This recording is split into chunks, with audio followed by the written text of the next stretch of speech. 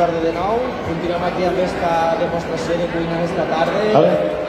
Ja ho hem fet amb César encara més.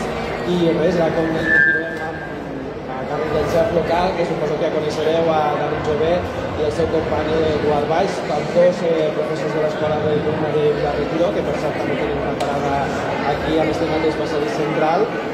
I, i res, doncs no sé què ens tenim preparat, però segur que serà algo molt bo. I, i res, doncs, gràcies per estar aquí, per aquesta presentació i endavant. Molt bé, moltes gràcies. Molt amable. Bona tarda. Tinc la claca de casa, eh? ja ho veig, això. És un goig, és un goig per mi, ja ho sabeu, estar aquí. Estar aquí, sempre he fet moltes coses per a les mestresses de casa i la veritat que feia molt temps que no fèiem res aquí a Santa Bàrbara i la veritat que m'agrada molt poder venir aquí i explicar el que, el que podem fer, arribem a fer en una escola de cuina, no? Al final, la meva trajectòria la, la coneixeu tots, vam començar amb un bar molt petit i hem anat evolucionant mica a mica. I al final he acabat fent classes, no?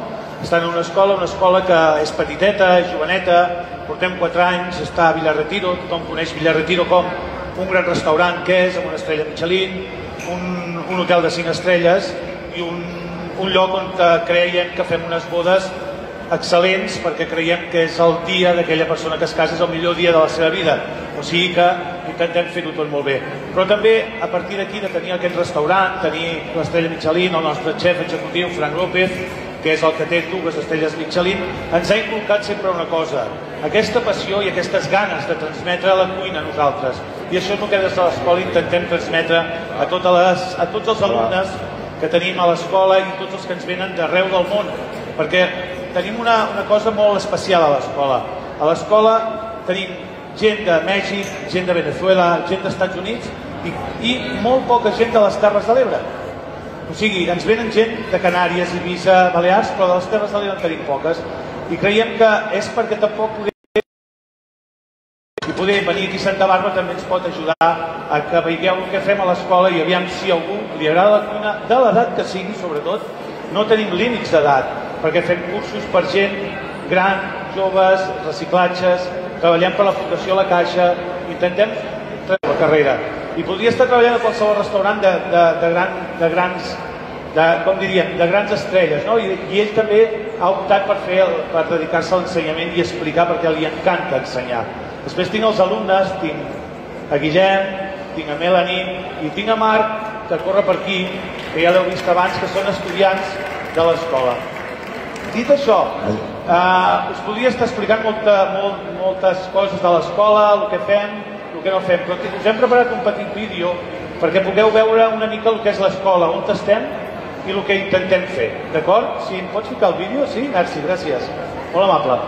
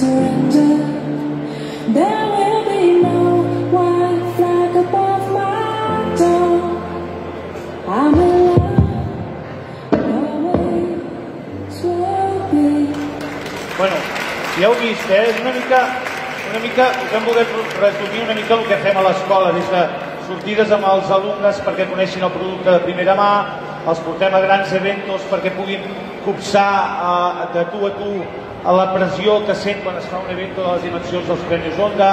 O sigui, els intentem inculcar la cuina ben feta, tradició i també passió. També tenim el que diem, el que farem avui una mica aquí, no? Eh, podríem venir aquí i dir, us, us farem, us enlluernarem, no?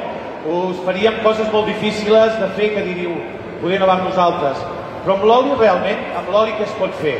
Sempre diem que amb l'oli podem fer moltes coses, però què hi ha millor que un, un bon pa amb un bon raig d'oli? No?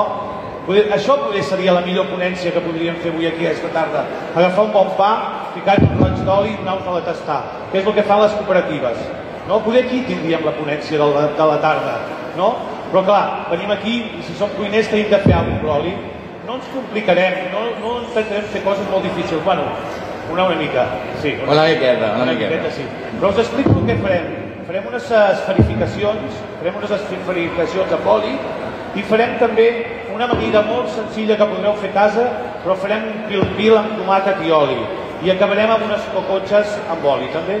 O sigui que al final mesclarem l'oli i el lligarem. Buscarem com podem treure-li el màxim profit al nostre oli. D'acord? Sí? Vinga. Per començar, ara us deixaré un moment amb Eduard, us explicarà el tema. Us dic Eduard perquè jo sóc més tradicional i Eduard és més innovador. Per això a l'escola ens entenem, no? Com us he dit, Eduard va estar treballant al Bulli, va estar als Dos Padillos, o sigui, ha treballat amb xef de, molt, de renom mundial. O sigui, que millor que ell jo crec que no us explicarà ningú com, com, com es poden fer unes explicacions. Us deixo a, amb Eduard moment. Explica. Bona tarda a tots. Vale.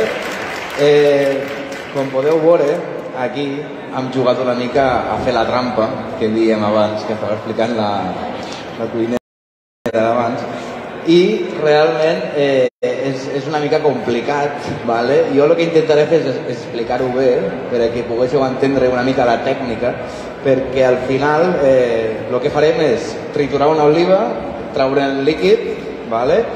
ficar-hi alguns productes estabilitzants i texturitzants per a poder-li donar forma, d'acord?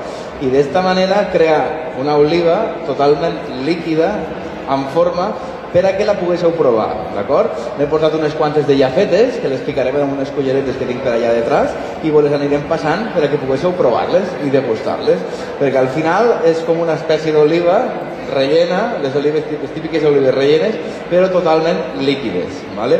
El que us explicaré és eh, com es fa el bany d'alginat, vale? eh, que tinc per aquí baix els productes.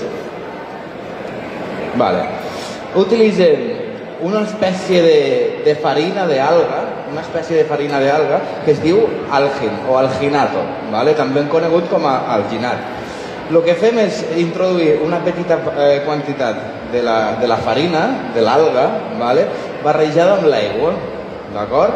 Ho deixarem reposar a la nevera dos o tres dies. Les proporcions serien, que tinc aquí el producte, uns 5 grams per un litre d'aigua, d'acord?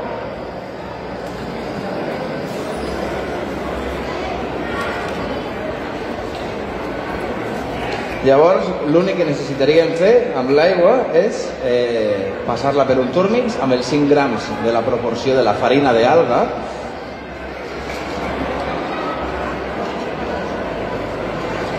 diré si em porten allí un bol, un bol que tinc de, de vidre.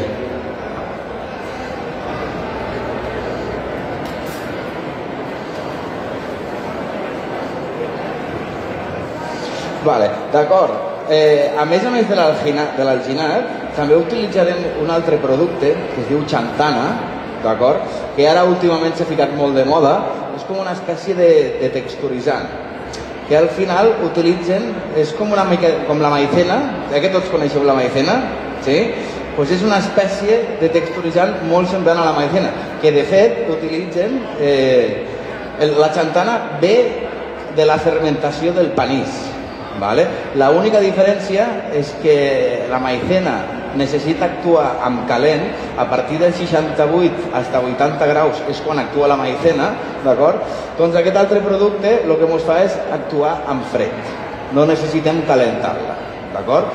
Llavors el que fa és donar-li una mica de, una mena de textura a lo que seria el líquid de l'oliva.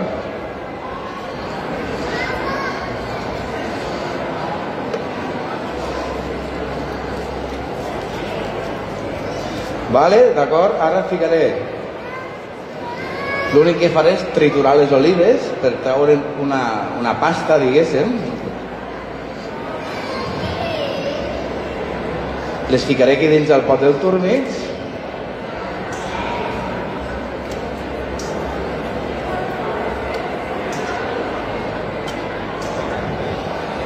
I aprofitarem una mica també de, del líquid que porten, que ja és una espècie de conservant, és una, una espècie de salmuera, no? De la mateixa manera també es pot fer amb les, amb les olives trencades de casa de tota la vida, que funciona molt bé.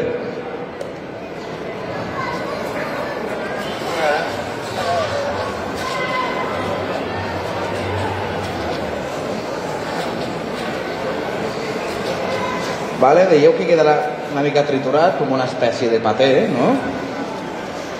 Tipus d'oliva, amb negre, eh, de les verdes de tota la vida, les rellenes que ja porten anxova dintre, inclús, vale? La intenció és fer un puré, un puré o una espècie de paté amb l'oliva, però ara el que sí que farem és refinada de cotó, vale? també funcionaria de la mateixa manera, d'acord? Per cert, que no ho he dit abans, però tots aquests productes que he estat parlant, de l'alginato, la xantana, el gel crem, que de fet també l'explicaré una mica, abans, i dic abans perquè parlem d'internet i a les noves tecnologies, poden trobar aquests productes a, a qualsevol tipus de plataforma que es dedique a vendre productes culinaris. Inclús, fins i tot, me dona la sensació de que a Amazon també. Passa que no volia fer propaganda perquè no m'agrada fer Ja coses, ja però ja, ja, ja l'han feta. Eh? Pues bueno, continuaré triturant les olives.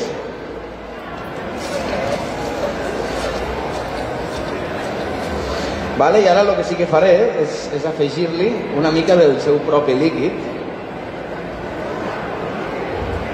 per donar-li una mica més de textura.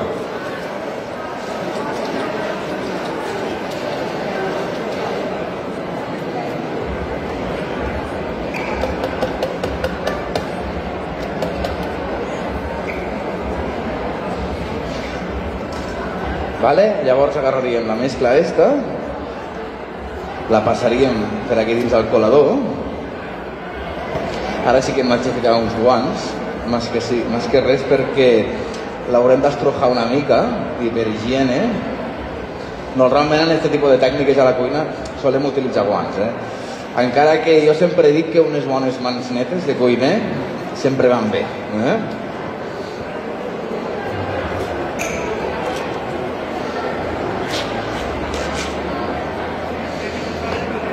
Vale? Llavors seria agarrar la pasta que tenim aquí dins i veureu com després de passar-la per aquí quedarà una espècie de, de líquid, d'acord? Que serà el que utilitzarem per a fer les feres després.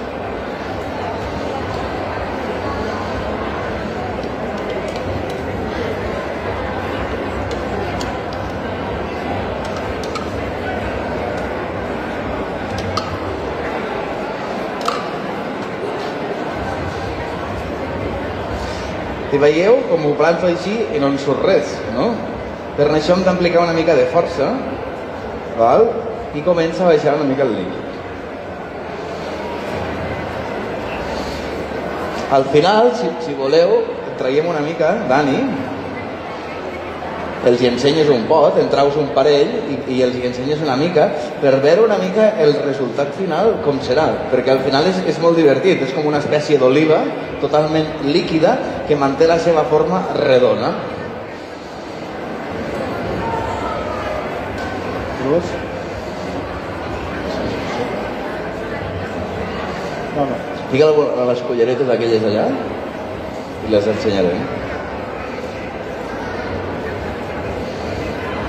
Vale, al final aquestes coses que, que estem fent, ara penseu, ui, això no va amb nosaltres, no? Però són les, les coses que a vegades per aprofitar l'oliva o, o, o aprofitar altres maneres de degustar, no? Una oliva, degustar l'oli, degustar aquestes, aquesta potència de sabor, eh, quan la ficarem, eh, us la fiqueu a la boca els que la podeu tastar, perquè és clar, per tota la fira no podem fer, és una mica complicat, però sí que intentarem algú que la provi i que ens expliqui què ha sentit. Per fer això, eh, he pensat de, doncs, dir, puc agafar dues persones i que ho provin elles, no? I així serà Mira, la, que nostra, la nostra manera de, Sí. de, de que la provi la fira, no? I, per exemple, no sé, mira, mirem, puja aquí dalt, sisplau, vinga, va. Mira, que, ja, eh, mira, que berenaràs, vine, berenaràs. I seu. Després necessitaria una noia, una senyora, el que vulgui pujar. Però que mengi de tot, eh? No, que no em vingui després, és que jo no vull... No, me- a mi no m'agrada el tomàquet, a mi no m'agrada la mostassa, a mi no m'agrada etc, etc. Perquè si no ja hi seríem. Menges de tot, suposo. Sí, no seu. seu. I no sé, mira, Patri, au, cap a dalt. T'ha tocat, vine, que seuràs aquí al meu costat. Jo ho dic perquè d'ells ara els hi donarem de berenar.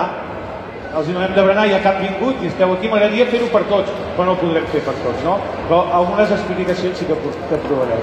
Us assentarem que us sapiguem el berenar avui, d'acord? Nosaltres serem una mica la imatge de si és bo o no és bo. Vigileu que dieu, eh? Alerta, que sé on viviu tots dos. O sigui que això. Vinga, mentre Eduard va preparant... A veure, va, qui vol ser el primer de provar un esfèric? És igual, tots dos fica'ls... És igual que en provareu els dos. Vale, veieu, lo, lo divertit és que és una oliva, però totalment líquida. El que fem és mantindre una forma líquida del mate- d'un mateix producte. Això ho fem, avui ho fem amb oliva. Evidentment, aquí a la Fira de l'Oli no podíem triar cap altre producte, tampoc com això. A veure què ens en diu. A veure què et sembla. proveu-el, proveu-el. Ha tingut una reacció una mica divertida, no? Està bo? Al final és, és una esfera totalment líquida Sí. que quan, quan entra a la boca t'inunda tota la boca del sabor de l'oliva, ¿vale? Havíem pensat que ja que és la fira de l'oli, ja que tenim la importància del producte de l'oliva, d'acord? Pues fer una espècie de- d'esfèric amb això, jugar amb la textura i hem pensat que era algo bastant divertit. Sí que potser és una mica més complicat perquè poguéssiu fer a casa, però, ostres, dins de la tecnologia que tenim avui en dia a la cuina i de totes les històries que en fem, és, és, és una història xula, divertida, no? Molt bé. Doncs bé, ara aquí tinc el líquid i l'únic que faríem ja és texturitzar-lo, d'acord? Llavors, et ficarem aquí en un poset d'aquests. D'olives, estàs allà, eh, creu? Sí, no? Ara estan acabant de preparar-les a les culleretes i quan les tinguen us les passarem perquè les poguéssiu provar, eh? Acabes de fer el d'això? Sí. I ara vaig a fer, vaig a texturitzar. Vaig a convertir aquest líquid i mireu, eh? Voleu una mica, voleu alguna per veure? Sí, no voleu una copeta de vi o alguna cosa? Sí? Doncs ara us la anirem a buscar. Tinc la copa aquí, us he buscar una mica de vi perquè pugueu... Ja que estem, no? Ja que Vale? Mireu, la, els texturitzants que utilitzarem ens canviaran aquesta forma totalment líquida, que quasi se me cau, vale? amb una textura una mica més amable que a nosaltres ens facilita poder treballar-la. Val? I per això tirarem mà dels texturitzants que us he comentat abans, com la xantana i el gel espessa, d'acord? Són, eh, la xantana prové de la fermentació del panís, d'acord? I el gel espessa és una espècie d'additiu alimentari que utilitzen les, les grans empreses de l'alimentació per a donar textura als productes, que avui en dia, com ja sabeu, cada vegada més eh, fabriquen ja menjar quasi preparat, no? Pues tots aquests menjars, perquè puguin estar conservats a les estanteries de les neveres dels supermercats, evidentment tenen un procés i tots aquests processos al final es venen acabant amb productes d'aquesta mena que sí que estan dins de la legislació de, de, de l'alimentària d'Europa, diguéssim, però que al final són nous texturizants que domèsticament a casa no acabem de conèixer del tot, no? Perquè al final, xantana a casa, qui el sol tindre? Tu ho entens, Dani? Bueno, jo sí. Tu sí? Home, Sí. però... Jo, jo sí que en solo tenir una mica perquè sempre acostumant-s'hi a treballar-la eh, al final ens va molt bé, no? Es lliga molt ràpid, eh, ens va molt bé per fer depèn quines textures a casa, no? O sigui que la, jo en solo tenir. Però si no és molta gent el que fa servir és la maicena, no? La maicena és el que utilitzem més, doncs, bueno, doncs una mica això. I també de lo que tens. Vale.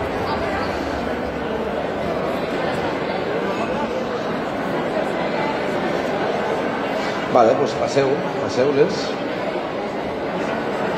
Sí. I ara d'aquí intenteu... Comeu, doncs ara passar-les per aquí.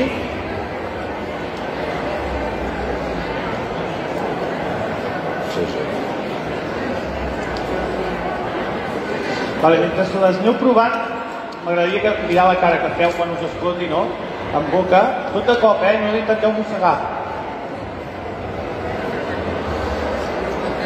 D'oli, oliva. ¿Ya se lo llevaron? Vale.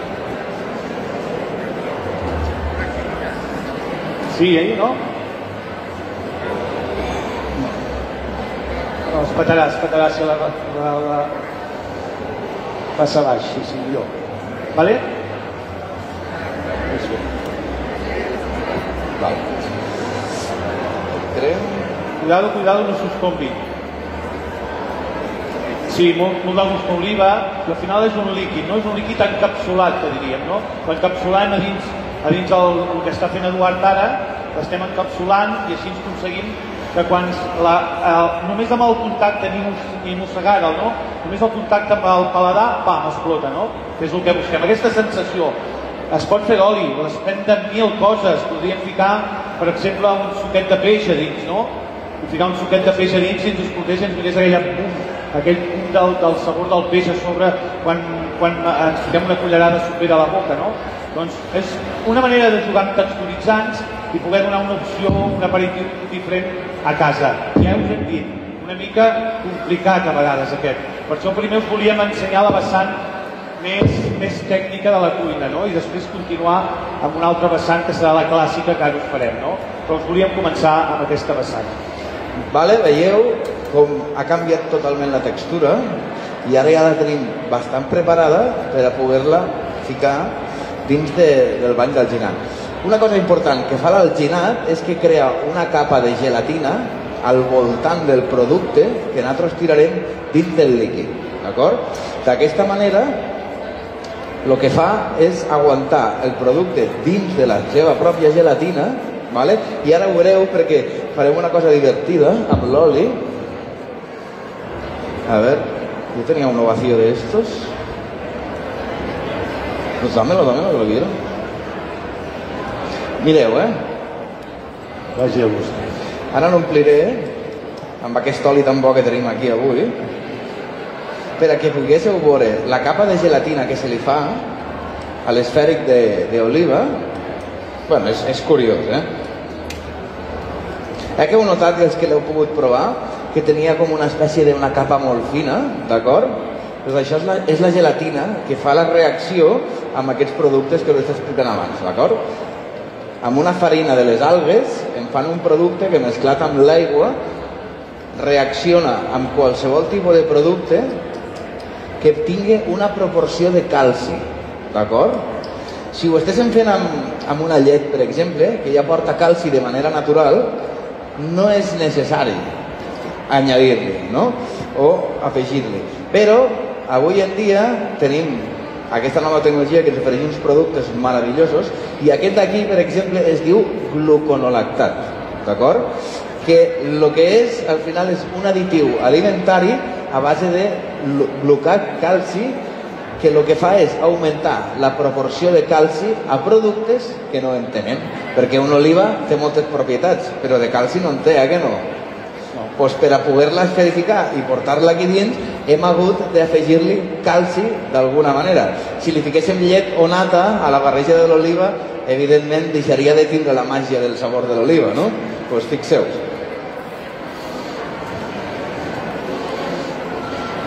Que tinc aquí ja aquestes esferes fetes i ara el que vull que vos fixeu, que és el més divertit, és amb la gelatina i l'oli, el que farà és donar-nos a la vista la capa de gelatina que aquí dins no es veu. A veure la cuchara, aquí. Vale, fixeu-vos, aquí a primera vista, veritat que no veieu cap capa de gelatina dins de l'oliva, no? Doncs ara vereu, quan la fiqui dins de l'oli, mireu quina capa se li fa al seu voltant. La veieu o no? Sí? Si la voleu anar passant perquè la poguéssiu veure?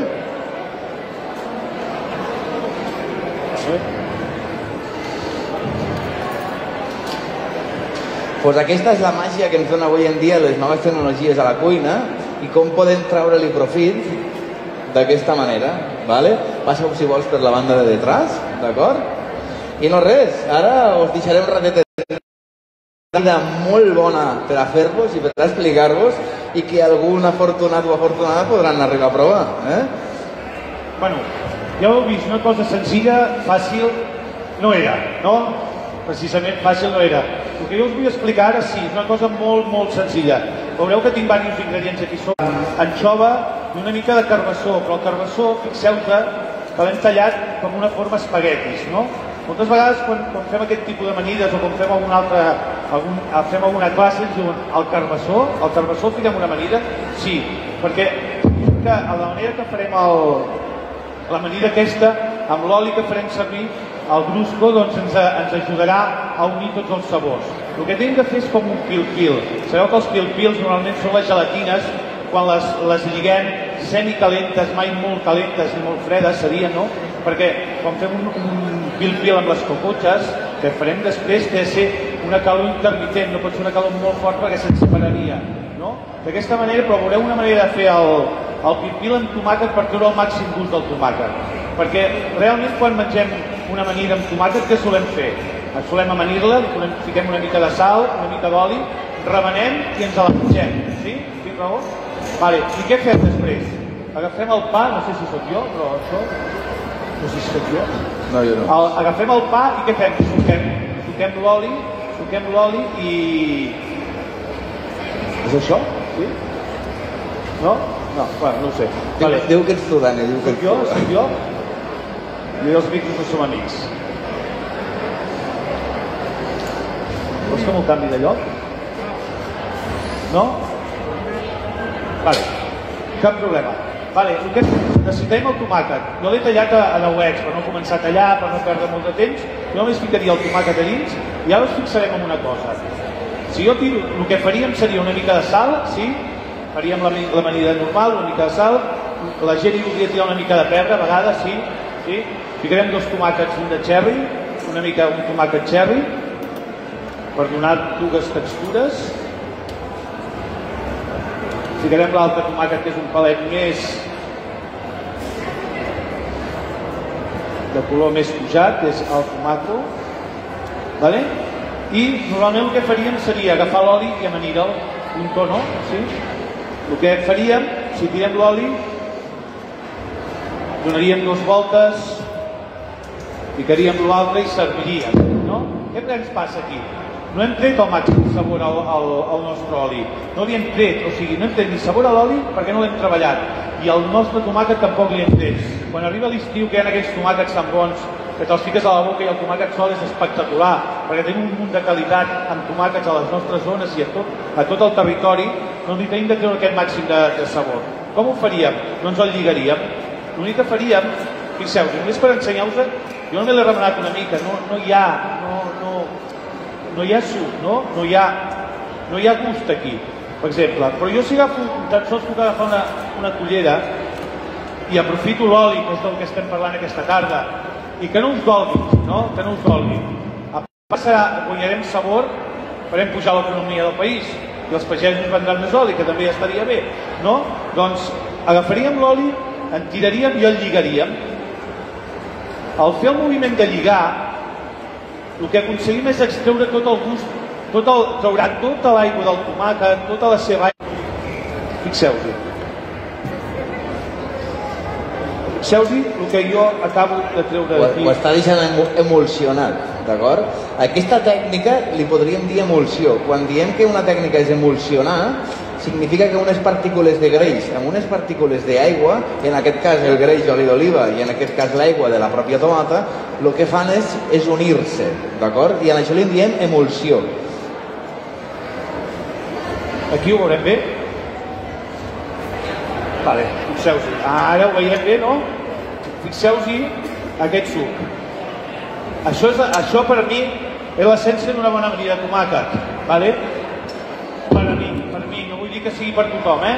Jo només dic el que jo em crec. Clar, si nosaltres aquí comencem ara a afegir-hi producte, com podria ser que hi afegirem l'anxova, hi afegirem una mica d'anxova, què ens farà l'anxova? Ens aportarà aquest punt, salat, aquest punt amar, vale? i podríem afegir els nostres espaguetis de carbassó. Com els tallarem? Els podríem tallar ben fins a ganivet o tenim aquests ratlladors ara que venen que ja els tallen, doncs a dins, no? Ficaríem uns quants. Els altres en guardem uns quants per que no s'escapin, que estan vius. No?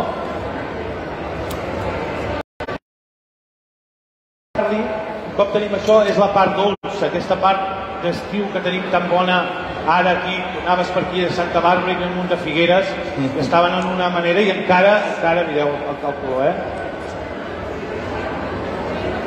Magnífic, no? Aquest color envolca la dolçor de les plantes per decorar. Molt bé. Pica. I emulsionem. L'únic que tenim de fer és emulsionar aconseguir que aquí tots els sabors se'ns ajuntin i al final el que tenim és un bon oli que és el que ens donarà la potència de sabor en boca A dins? no, no, no, allò més petita que Més petita? per decorar, sí Vinga. al final si jo us presento això el que diem sempre la cuina no? si jo, us presento això em direu puc? ja? ja? tinc? tinc? Uau.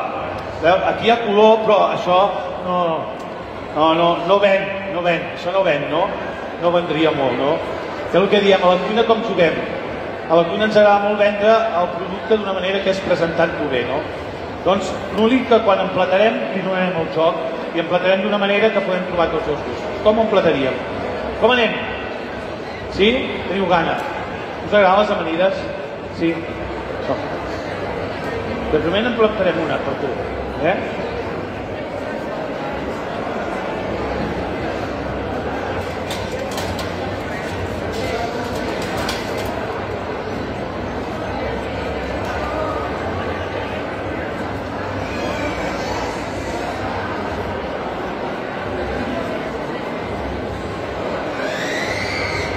Al final es tracta d'anar ficant els trossos de tomàquet que tenim, ficar-los una mica bé, que es vegin bonics, algun tros de, de figa, alguna mica de, del carbassó que tenim. Així et va bé? Sí, perfecte, Eduard, gràcies. Una mica d'anxova,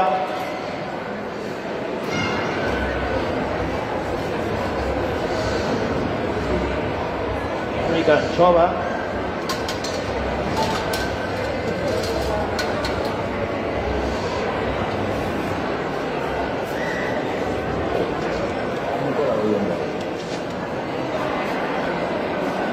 i acabarem ficaríem una mica de figa d'aquesta, acabarem una mica de figa de la acaba de tallar Eduard, que és més sencera, per donar aquest color. Tenim una mica de... una mica d'oli. Sempre oli, eh? Ho heu vist o no que fem servir molt?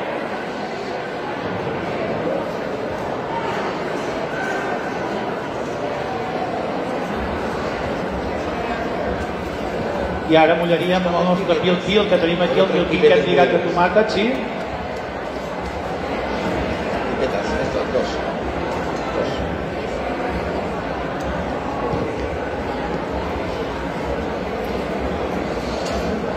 I acabaríem decorant amb unes miques de germinats de, fe, de pèsol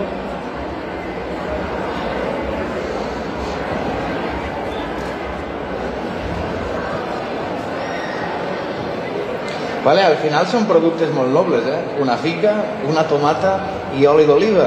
I si li vols afegir uns espaguetis de carbassó, que són coses que podem trobar aquí a l'hortet de qualsevol, a provet de. Avui en dia, qui més qui menys té un trosset de terra en un, en un hortet, no? I més en, pobles, en pobles així. Nosaltres a casa nostra sí que en tenim un. Petitet, petitet, però mos dona tomates, enciam, quatre cosetes. Bueno, al final, Ja, ja tenen ganes de menjar-la, eh? vinga, t'ho deixem aquí, que tens una forquilla i ja et faig el teu mentrestant, vale?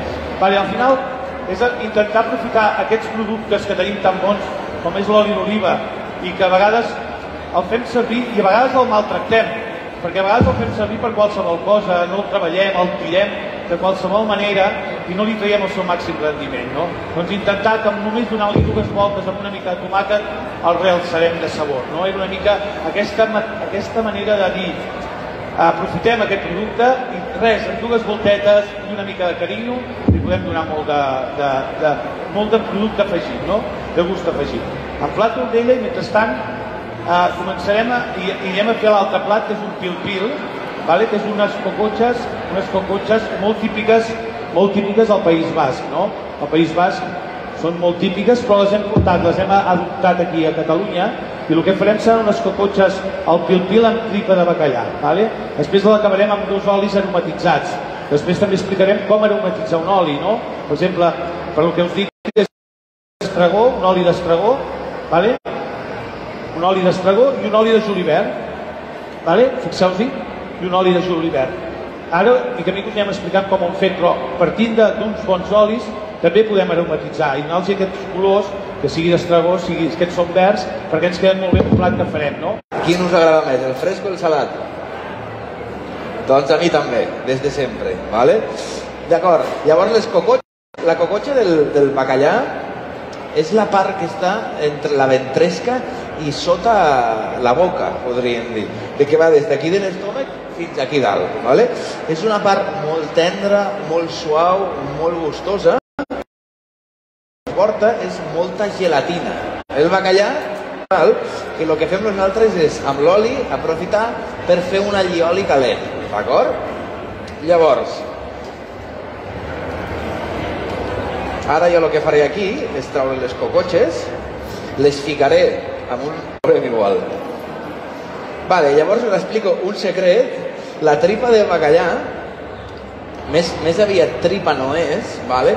és la part que tenen per a... Au, com us explicaria? Per a submergir-se baix de l'aigua, tenen una, una espècie de glàndula dins de la panxa, d'acord? Que se li diu la... Com us explicaria? Eh, s'unfla, vale? ells s'unflen i la desunflen per a submergir-se i tornar a pujar, d'acord? Doncs aquesta glàndula està protegida per una espècie de, de tripa que se li diu que és la que utilitzarem. També és coneguda sí. com els callos del mar, d'acord?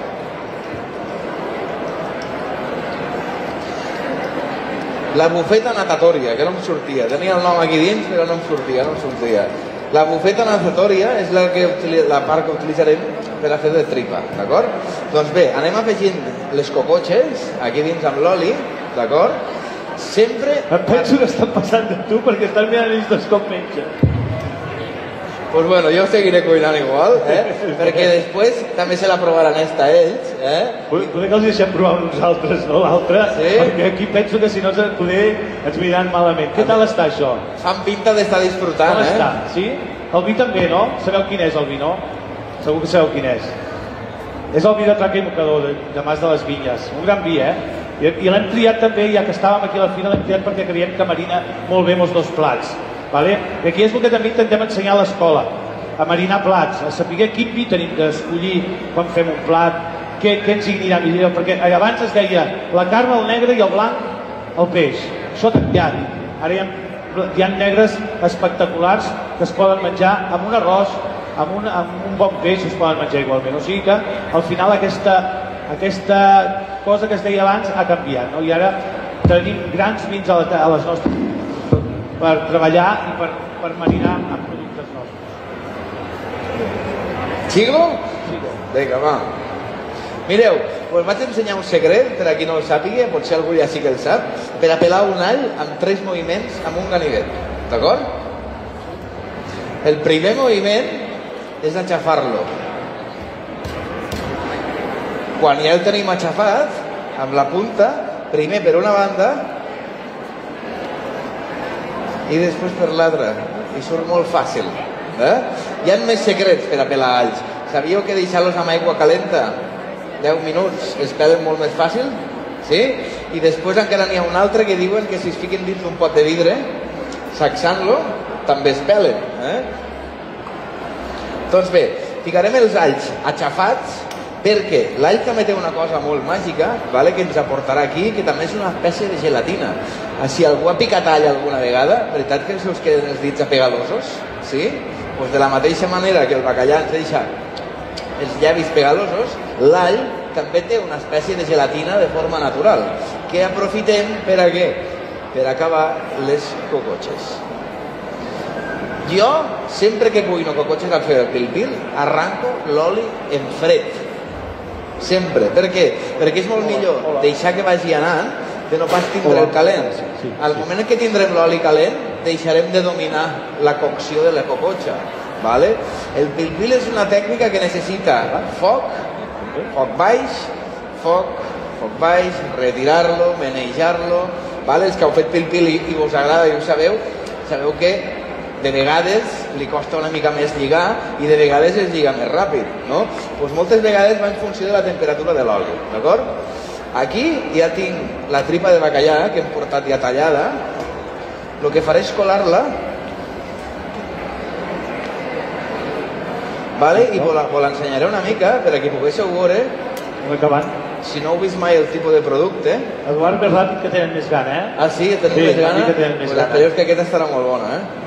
vale? Són una espècie de callos. Nosaltres li diem els callos del mar, d'acord? Tenen una textura molt, molt xiclosa, molt semblant a la dels callos, però a, a mi m'agraden més que els callos de cara, eh? podríem dir. D'acord, llavors, ara, ara sí que hem de tindre molt en compte el joc amb el foc. Eh? Uh, Eduard, pregunta. Uh, a l'all l'has ficat sencer, no? Sí, Sencer. xafat. Xafat. I després aquí una mica de guindilla ens hi quedaria bé? Oh, seria magnífic. Vale, o sigui, què volem dir? Que quan més ens agradi, si volem buscar aquest toc picant, ens podria, podríem ficar una mica de guindilla i ens donaria aquest picantet que a vegades a la gent li agrada i a vegades a la gent no li agrada. Si us agrada li fiqueu, si no, no, no el fiqueu. Jo com que sóc poc, poc tolerant al picant, no n'hi solo ficar, d'acord? Hi ha gent que és més tolerant i jo el tolero molt poc. I, I aquí què tenim? Aquí tenim una mica de tomata, toma, tomata confitada, que hem confitat amb els alumnes de l'escola, d'acord? Que el que fem és, és pelar-la, traure-li la pell i les llavors, d'acord? Fer-ne eh, tallar-la en quatre trossos, nosaltres li diem a, a pètals, d'acord? Perquè de la mateixa tomata en surten quatre pètals molt grans, i el que fem és deshidratar-lo amb un deshidratador o amb un forn a baixa temperatura. Eh, jo podria dir que inclús a 60, entre 60 65 i 70 graus, d'acord? Entre 5 i 8 hores. D'acord? Llavors aconseguiu una textura de tomata i què li passa al deshidratar? És algo bastant divertit. Per què? Perquè la deshidratació el que fa és concentrar els sabors.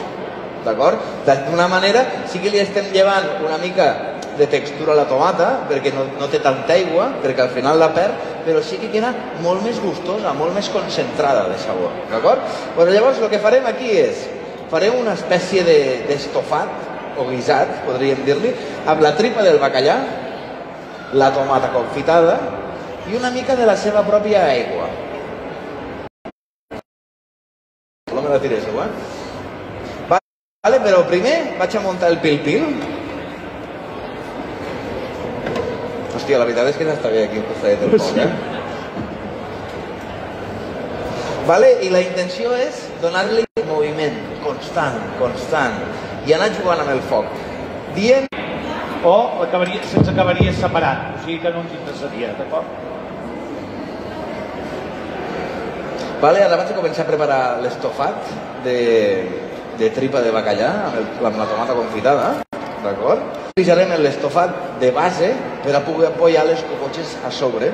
Perquè ara ja que estem així, fem una mica de, de dolents i, i diem estem en una escola, no? Ara seria tot això com una escola. Com li diríem d'aquest tall? Vinga, va. Ja hi som. A veure, va, gira, un alumne, un alumne. Els de sala i els de cuina. Els de sala serien els que normalment veus, els que quan et treuen el plat estan ben tallats, tots quadrats, perfectes, aquests serien els de sala. I els de cuina se n'utilitzen, que els fem servir mixtes, però se n'utilitzen que no, que són més barruers perquè els podem acabar cuinant i els acabarem triturant o els acabarem així. Doncs aquest tall, no sé si l'ha tallat molt petit, però seria el brunoir, no? Seria un tall petitet que ara ell cuinarà. No tindria de ser tan qua- quadricular, perquè un brunoir ben fet és un mil·límetre per un mil·límetre. Em direu. Encara que no ho sembli, tenen eh, mil·límetres específics, eh? Exacte. I imagina't que si tens de tallar-ne un molt bé, però si tens de tallar 70 cebes i et diuen un mil·límetre, diràs, oh, ves por ahí, no? Perquè ja em diràs, pobres, De la tripa, el que he fet és tirar un xorret d'oli aquí a la cassola, ¿vale? després hem picat la tomata confitada per a que l'oli mos agafi una miqueta de gust de la tomata. I finalment, la tripa la deixem sofregir una miqueta, no molt, perquè la veritat és que li agrada més l'aigua, li agrada més ser bullida que no pas fregida.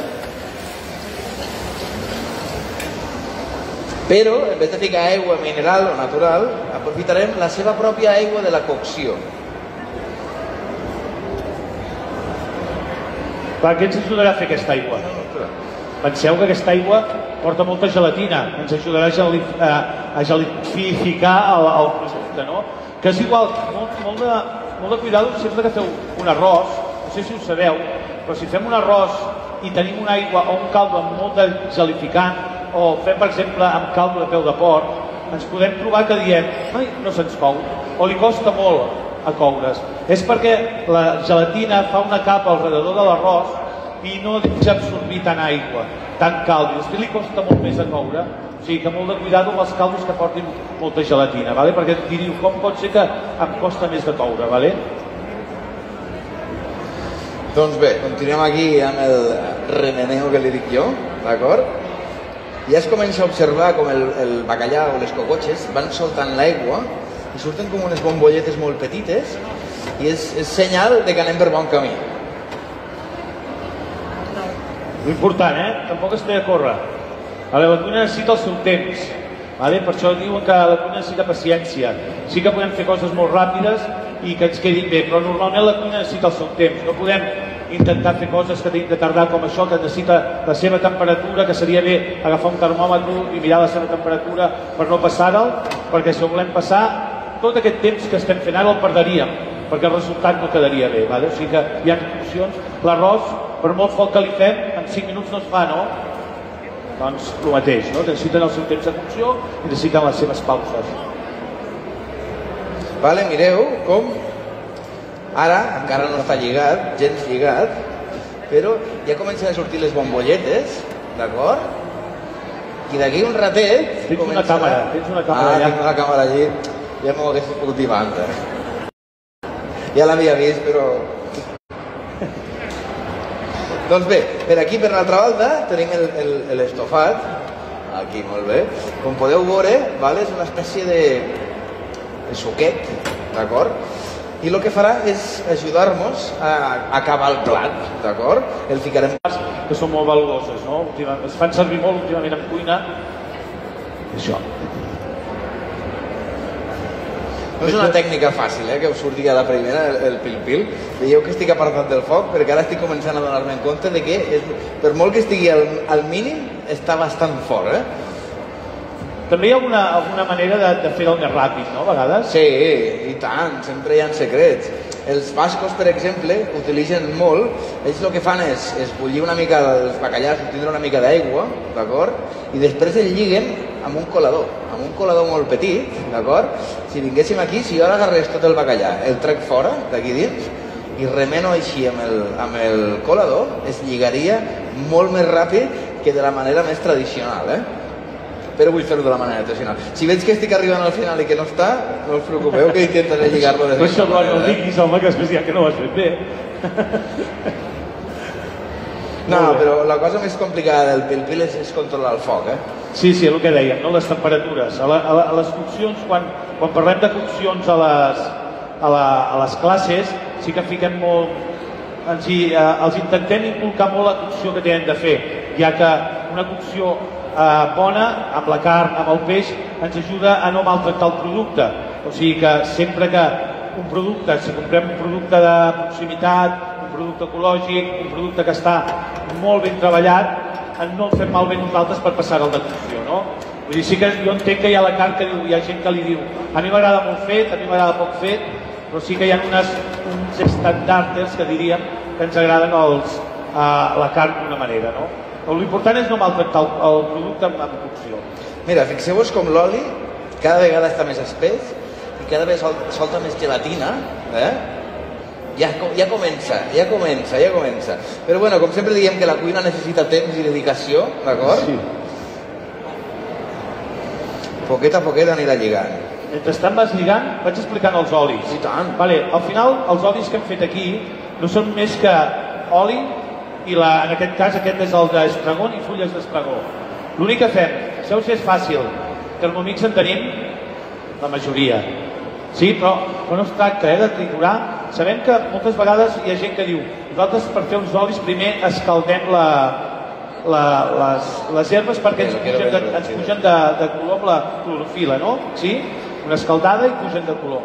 Però amb la Thermomix el que podem aconseguir és que la Thermomix, quan fiquem oli, fiquem l'oli i les fulles i triturem a velocitat molt alta, ella mateixa, la fricció que fa ens puja de temperatura. Sí? Què fa? Al pujar de temperatura ja ens està, ens està donant el color i ens està traient tota la clorofila. Però després no ho colem normalment i colem amb un colador i el deixem, no, el decantem. Com ho decantem? Tot això ho fiquem en una, en una bossa i anem deixant caure l'oli a poc a poc, a poc a poc, a poc a poc, a poc a poc, i això ens tarda. Però només ens cau oli quan ja ens ha fet la part que ens ha quedat la part sòlida i ens ha caigut tots els olis, tallem i ens quedem l'oli. Només després per això aconseguim aquests colors tan, fixi's, tan verds. Vale? És únicament això. Però això sí, oli de qualitat. No, no agafeu qualsevol oli, no m'agafeu no vaig a dir, no, deixem-ho estar, però no m'agafeu olis que, que diuen que són d'oliva i no ho són, o, o que estan mesclats amb un tant per cent de BTCP i tal, no, un oli de qualitat i unes bones herbes fresques ens quedarà un oli per poder, digue-li estragó, digue-li això, digue'ls olis de qualsevol cosa que vulgueu fer. Cítrics, amb pells cítriques, eh, fer-les amb fruits secs, específica trituraria, bueno, amb el que us vingui de gust fer-los. Al final el que busquem és el, el sabor de l'oli mesclat amb les fulles, ¿vale? en aquest cas. Bueno, doncs ja quasi tenim el pil-pil. Això està, eh? Sí, sí, sí. sí. Algú té pa? Pregunto. Mireu, eh? Faltaria Com pa, eh? Ha anat textura avui. Aviam, no tenim ningú que ens ensenyi la, això? Sí, sí, aquí, aquí, aquí, aquí. No ho veig, no veig la càmera aquí. Puja, puja, ah. Aquí. No, no, dalt, ai, aquí, ai. aquí, aquí. Vale, veieu com ha anat espessant, poquet a poquet, i ha anat agafant textura d'all i oli calent, perquè al final un pil-pil no deixa de ser un all i oli Ah. en calent, eh? Vale, i ara mirarem a veure com està la tripa. Vale, un cuiner o un bon cuiner sempre ha d'intentar provar el producte abans de servir-lo, ¿vale? I per assegurar-nos que està al punt idoni de sal, que està correcte de cocció, jo sempre li dic de fer el control de qualitat. Sí, no? sí, sí, fer el control de qualitat? Sí, sí. Està Una bo, miqueta eh? més de sal, eh? Sí, perquè eh, proveu el, el menjar quan el feu o el feu avui? Sí? Provem el menjar, el provem? Sí, però em trobo molta gent que diu no, no, jo no el provo. Jo el cabo no el provo si està al punt de sal i tot. Sabem que la sal és un potenciador de sabor, no? Sí que a mi també ja em diuen, vigila amb la sal ja, eh? O sigui que, però sí que és veritat que és un potenciador, perquè, i el punt de sal de cada persona també és diferent. O sigui que aquí cadascú quan cuinem a casa, no? A vegades per uns és salats i per altres és un pèl menys salat. Bueno, doncs ja quasi tenim el pil-pil a punt, eh? Mireu, us vaig explicar un secret que té l'oli, i no només l'oli, sinó la majoria de coses, de, el greix en si, i ara entendreu moltes més, en, en solem dir que l'oli és un conductor del sabor. D'acord? Què indica això? Doncs pues mireu aquí, com amb unes dos fulles de julivert, una Thermomix i una mica d'oli, hem convertit el julivert amb sabor. Com? Gràcies a l'oli. Si ho fes ja ho tenim això. Vale? I per l'altra banda ja tenim el, el, el estofat aquí una mica fet. Vale? Com podeu veure, i té una textura molt... Ai, mira quin pa més xulo que mos han portat, no? Doncs pues d'aquest en sucareu una bona, una bona tiradeta, eh? Vale, mireu, eh? És que allà la càmera aquella, a mi m'agrada, però veieu la textura que té ja, eh? Eh? Ja, ja tenim el pèl-pèl lligat, eh? Doncs pues bueno, ara procedirem a emplatar-lo i a que aquests invitats tan especials que tenim aquí